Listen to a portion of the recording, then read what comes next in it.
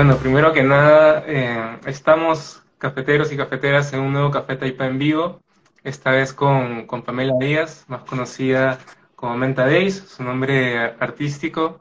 Es una artista contemporánea, hace un arte increíble, la sigo desde hace muchos años y en verdad para mí eh, esta noche es un momento medio surreal tener la dicha de poder eh, compartir contigo, Menta. Eh, primero que nada, me gustaría felicitarte por, por tu nuevo libro, El, el color que, que, cambió mi vida. Y, y, en ese sentido, me gustaría empezar a salir con la pregunta, ¿cuál es ese color? ¿Cuál es el color que, que cambió tu vida? El, color que cambió mi vida es el color menta. Es un color que siempre me ha gustado desde niña. Eh, no sabía por qué hasta que empecé a escribir el libro y cuento el origen eh, de, este gusto, ¿no? Que se sitúa en mi niñez. Y algunos dicen que es color tipo agua marina, verde claro, pero para mí es un color menta. Muy, muy vintage, muy, muy amable, ¿no? Ahora veo que muchas marcas están, eh, se están eh, adecuando mucho este color para comunicar mensajes positivos y de, y de gran alcance. Es, es, verdad, en verdad es un color que, que, también he visto mucho en tendencia y la primera vez que, que vi tu arte creo que es algo que, resalta mucho, ¿no? Justo también lo, lo tienes de, de, fondo, ¿no? El menta ahí potente, es algo que, que digamos, te, te, te, caracteriza. Y justo por ahí, hablando un poquito del libro, entendemos que, que el libro en, en, buena parte habla de, del propósito, ¿no? Y cómo ha sido descubrir eh, el propósito por ahí puede inclusive llegar a ser un proceso difícil, ¿no? Mucha gente piensa por ahí que es algo de ver, no sé, un tutorial o leer un libro o chequear los tres tips en YouTube, pero en, en, tu caso, ¿podrías compartirnos cómo es que, que, llegaste a, a, descubrir tu propósito? Sí, ¿no? Claro, lo que sucede es que unas personas piensan que encontrar el propósito es algo como que bastante fácil, eh, que un día tú decides buscarlo y por lo tanto se te va a dar la respuesta y no es así. Eh, encontrar el famoso propósito de vida puede ser muy doloroso porque debes desarraigarte de lo que tú creíste que era lo que a ti te hacía feliz. De alguna manera, el famoso ego, ¿no? Tú creías que te hacía feliz eh, hacer ciertas cosas y te creíste todo ese modelo de vida, pero cuando llega a ti la respuesta de lo que realmente te encanta hacer y disfrutas mucho, eh, dices, wow, ¿cómo hago para dejar este estilo y este modelo de vida que yo he creado para dedicarme a algo que me apasiona?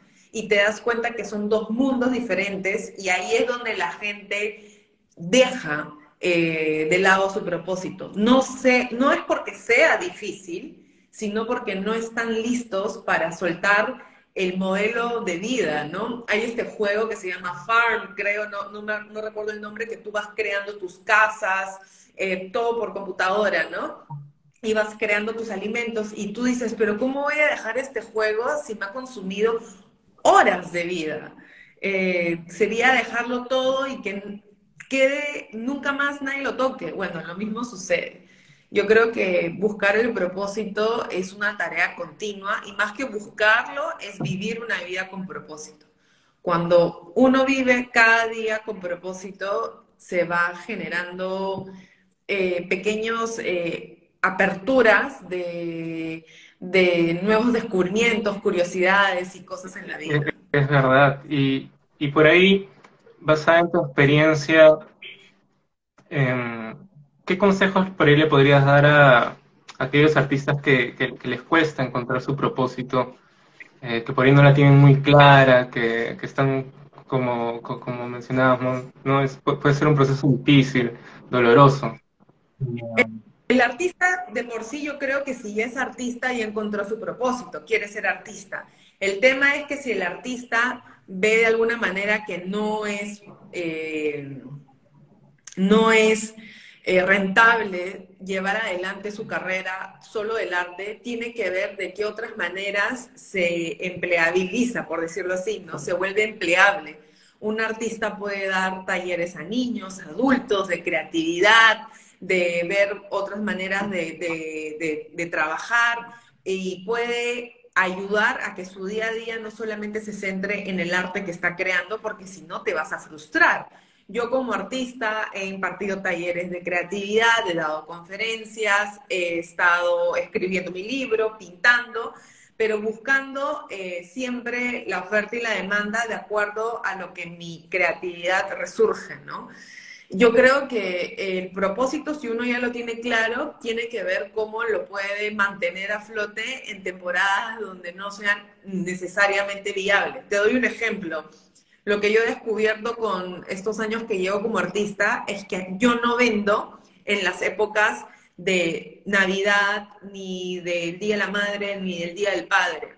Menta Days no es una compra por impulso. Menta Days es una compra totalmente aspiracional, totalmente eh, de corazón. Y las personas cuando están totalmente agobiadas por el tema del Día de la Madre o, Navidad, que tengo que comprar un montón de regalos, no se les ocurre comprar mentades. Entonces yo escogí eh, la fecha previa al, al, lanzamiento del Día de la Madre, el publicar mi libro, porque sé que es una fecha que yo no podría hacer otro, otro tipo de campaña.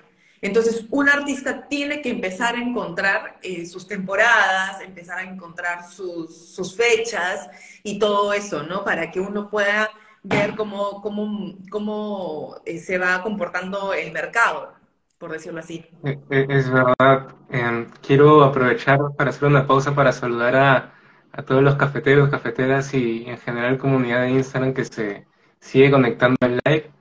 Em, hoy estamos hablando sobre el propósito. Estamos hablando con, con Menta Ace, artista contemporánea peruana, que ha lanzado un nuevo libro, El color que cambió mi vida. Em, les invito a hacer las preguntas que, que, quieran. Vamos a tratar de responderlas eh, en vivo y, y, nada, por ahí vi que alguien había llegado tarde. Eh, pueden encontrar el live luego eh, grabado en, nuestra página de Instagram, en Café Menta, estaba preparando para, para la entrevista, estaba eh, viendo que tú eh, hablabas sobre una práctica que si no me equivoco el nombre es páginas matutinas. ¿Cómo, cómo por ahí esta práctica te ha ayudado a, perfilar un poco más eh, tu propósito, en general tu, tu, rumbo, ¿no? No sé si nos puedes compartir un poco, por ahí es algo que también nos puede ayudar a otros artistas, ¿no? A afinar. Sí, de hecho, las páginas matutinas son una actividad que hizo o que creó Julia Cameron, la escritora del libro El Camino del Artista, que tiene 12 capítulos que te ayudan a desbloquear tu creatividad. Lo que sucede es que yo vi un documental, La Guerra del Arte o El Arte de la Guerra, donde un crítico de arte dice, nunca sean artistas, nunca sean artistas, porque los artistas son pobres y son pobres porque están muertos de envidia. Y yo vi ese documental y realmente me impactó ver toda la parte sórdida de que tiene todo mundo, arte, cine, corporativo, eh, política. Y me puse a buscar, me puse a investigar por qué se refería a que los artistas son pobres.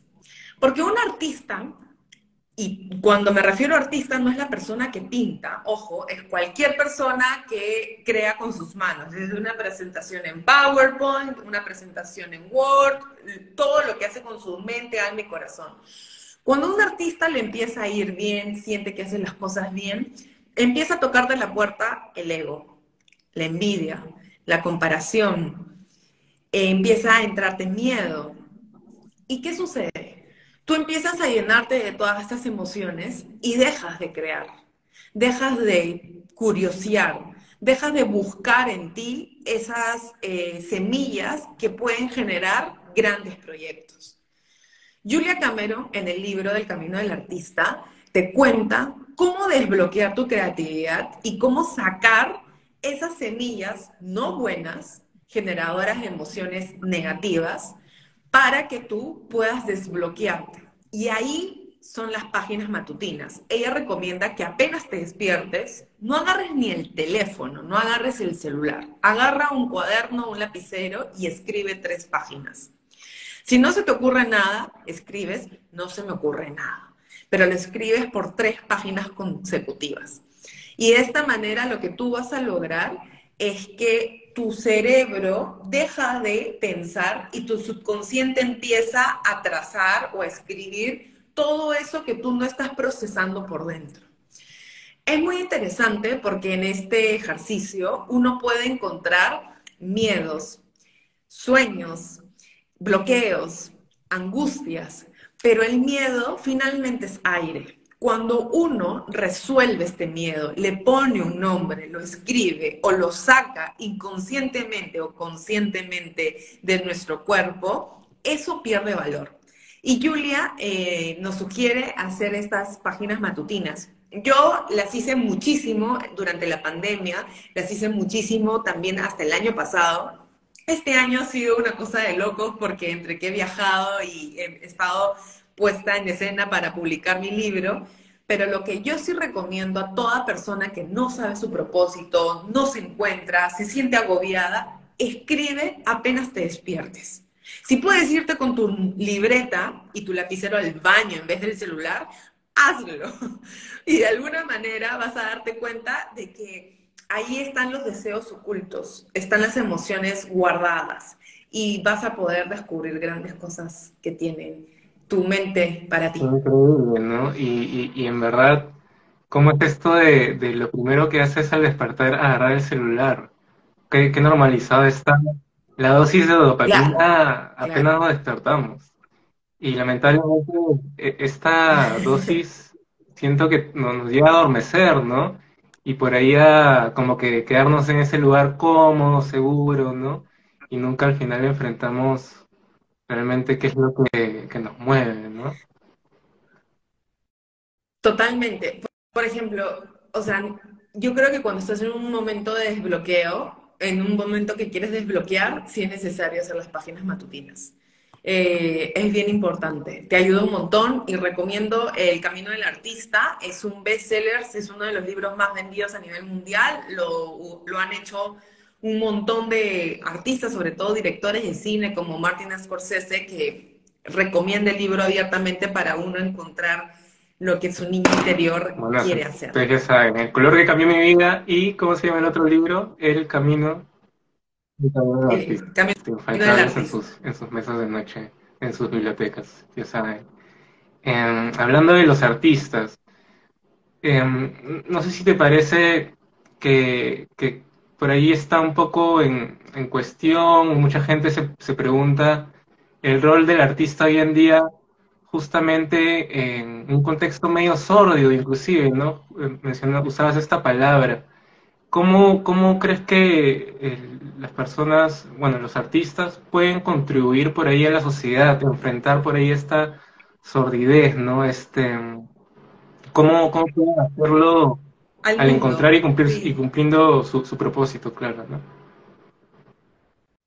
Yo tengo un sueño y es fundar una, una institución o una ONG donde pueda ir a zonas vulnerables y poder eh, enseñar arte desde lo que yo sé. Y una persona me dijo, pero Pamen, qué lindo tu sueño, te felicito, pero considero que hay cosas más importantes que el arte. Y yo lo que le respondí en ese momento, le dije, sí, desde tu percepción, tú puedes enseñarle matemáticas, puedes enseñarle lenguaje, puedes enseñar, eh, hacer muchas cosas de aptitudes, pero el arte te enseña algo fundamental, que es la empatía. Y la empatía solamente se logra cuando una persona siente y es consciente de lo que está haciendo. La empatía se puede enseñar a través del arte, a través de la pintura, de la conexión.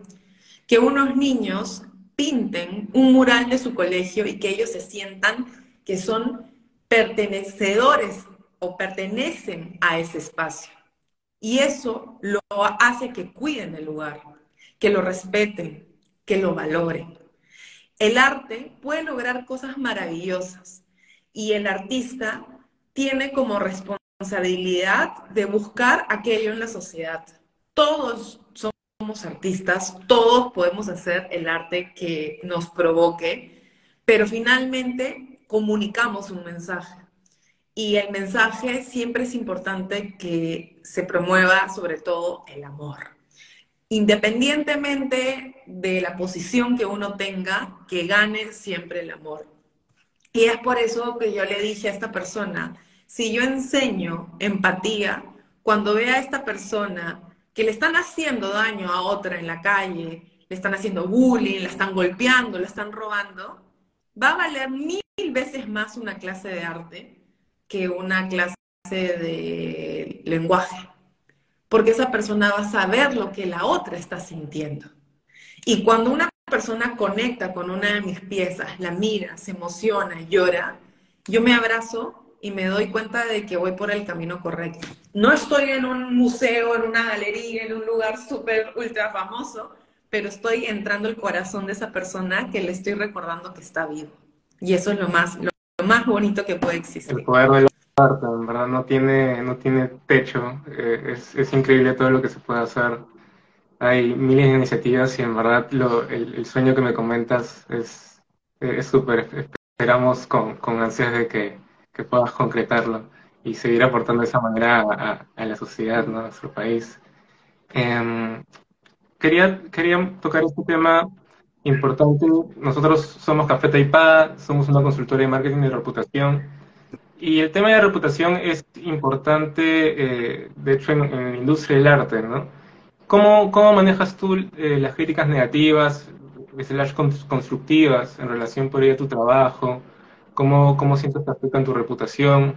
Hablamos de la empatía hace un rato, importante. Hoy día en redes, este, a veces, muchas veces detrás de la, del anónimo todo aguanta, ¿no? Este, ¿cómo, ves eso? Claro. Sí, yo creo que, o sea, yo creo que la reputación como yo conozco a Café Taipa desde mis épocas corporativas, cuando asistía al lanzamiento del libro de Milton, súper fan de Milton, por favor.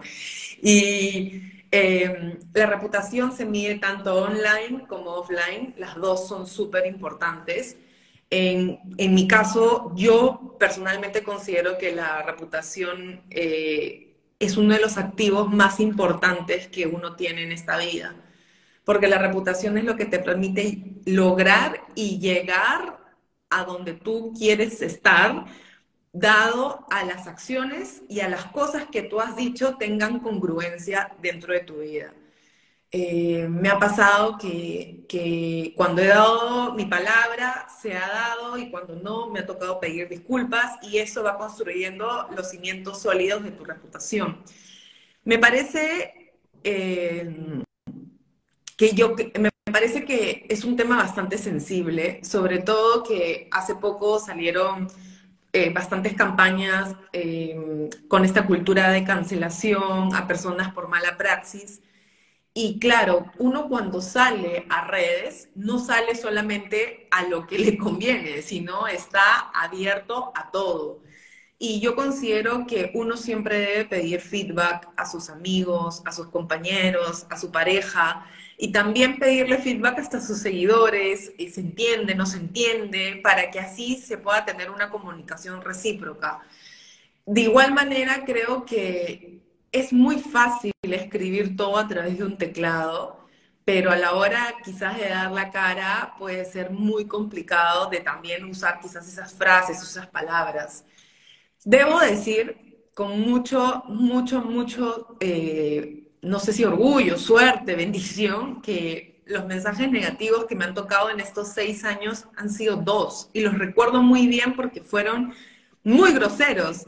Pero en ese momento recordé algo que me dijo Francisco Alcaide, un gran escritor, y es que cuando me dijo, cuando llegue tu primer troll o tu primer hater, me llamas y celebramos juntos. Y yo le dije, ¿por qué? Y me dijo, porque ese día significa que empezó realmente la gente a mirar algo en ti, porque la gente que, que te critica y te lo dice es porque le encanta lo que haces y no saben cómo copiártelo. y yo le dije, entonces, ¿qué hago cuando me escriben estos trolls? No les respondas. Más bien, abrázalos virtualmente, porque eso significa que estás haciendo las cosas bien. Obviamente, cuando me dicen este, cosas sobre mi arte, que es normal que no le pueda gustar mi arte a todas las personas, pero si hay otro tipo de mensaje de reputación sobre praxis, sobre, sobre cosas que ya son diferentes, sí hay que tomar atención definitivamente, ¿no? Pero yo siempre digo que los trolls son un buen mensaje, son un buen eh, como que aviso de que las cosas están yéndose eh, bien. Y creo que eso es algo interesante. hay una frase de Sancho, ¿no? Si no me equivoco, del Quijote. Sí, los trolls Es, todo un tema, en verdad.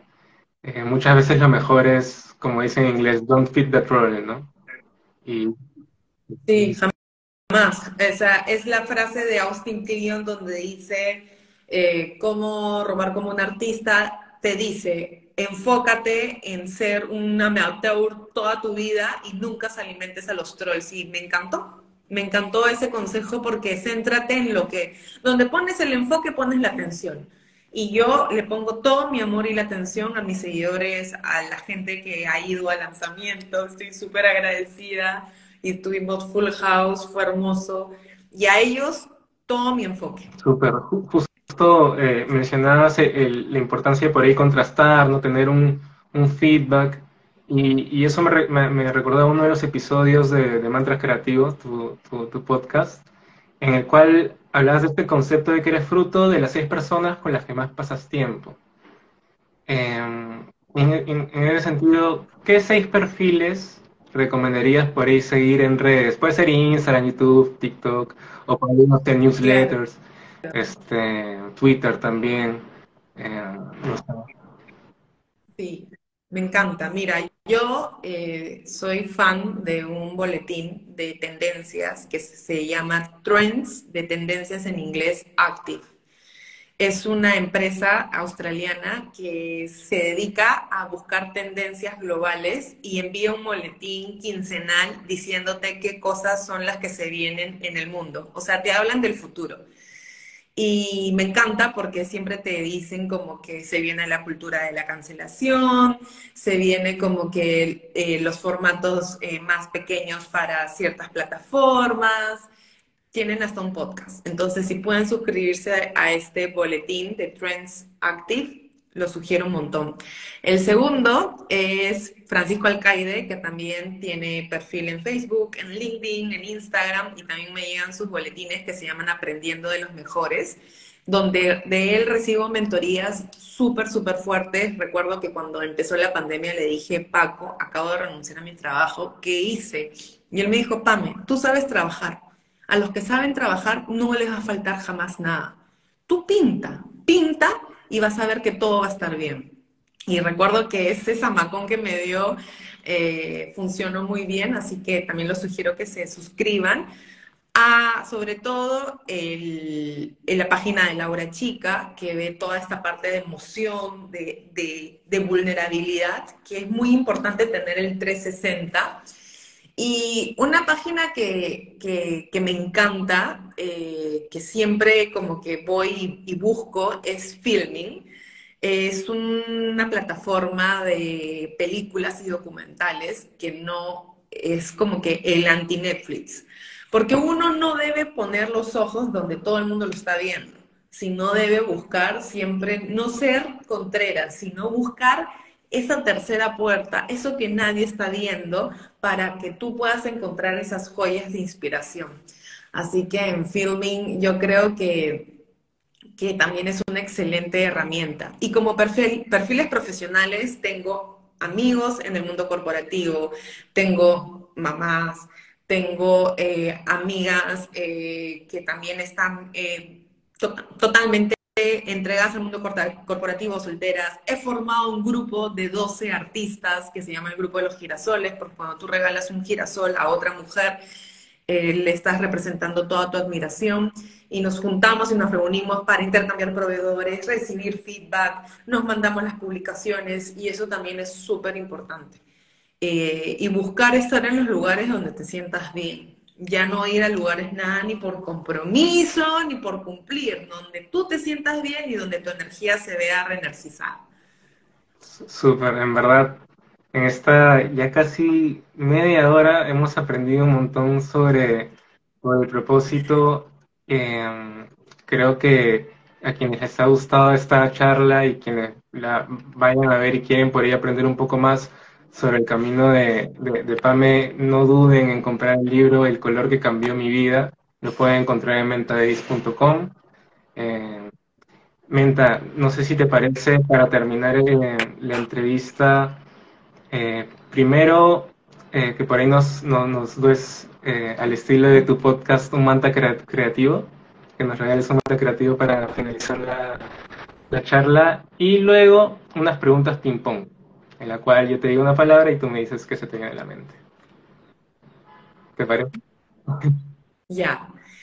Bueno, mi, mantra creativo, el mantra con el que empiezo el libro, y es que los sueños son de colores. Porque cuando uno tiene un sueño, le pone un color, le pone una forma, ya tienes claro el objetivo y vas por ello. Recuerdo que leí un libro de Lorna Nelson, que son mis 14 sueños, mis 14 deseos, y su mamá fallece y le dice que para acceder a la herencia debía cumplir los 14 deseos o sueños que tenía cuando ella era niña. Y terminé de leer el libro y coloqué mi lista de 14 sueños y deseos. A cada uno de ellos les puse un, nombre, un color, y puedo decir que voy la mitad cumplidos. Uno de ellos no se puede cumplir porque Roger Federer ya se retiró del, tenis, pero eh, si uno le pone color a los sueños, los sueños llegan a ti, definitivamente, se hacen realidad. Súper cierto. Y, ahora con, las preguntas ping-pong. Empezamos a ver.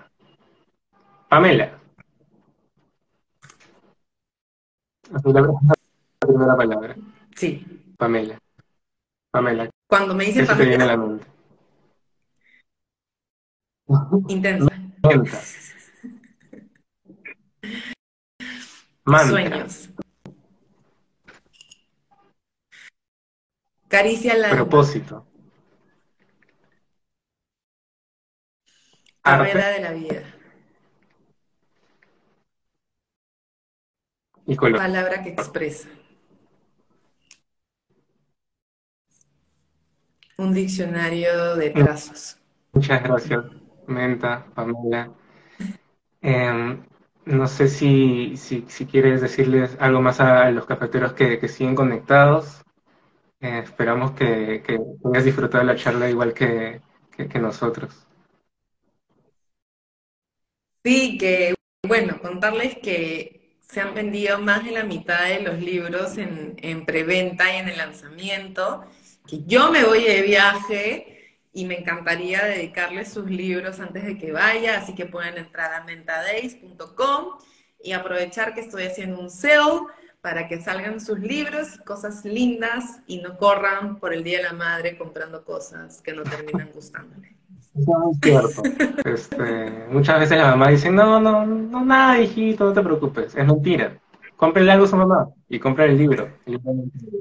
no, le compren esa caja de jabón y perfume de farmacia, que es horroroso ese regalo, por favor. Muchas gracias, Meta. En verdad ha sido un gustazo y, mucha suerte, mucha suerte con, todos los proyectos que se vienen. Esperamos que sigas, eh, que puedas seguir compartiendo tu propósito con el mundo. Gracias a ustedes, que estén bien. Chao.